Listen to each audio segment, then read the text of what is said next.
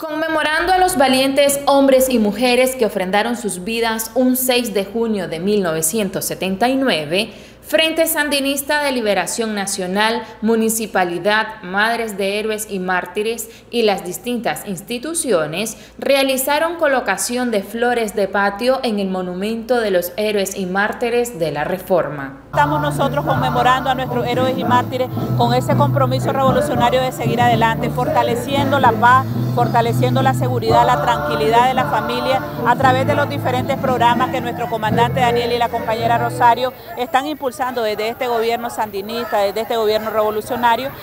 Y seguimos luchando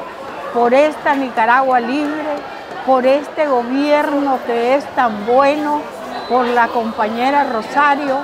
porque son los únicos que han venido a poner a Nicaragua en sus pies, como dicen. Ministerio de Educación conmemoró a los héroes y mártires que lucharon por la justicia, la libertad y soberanía de nuestro país con un desfile cultural de bandas rítmicas.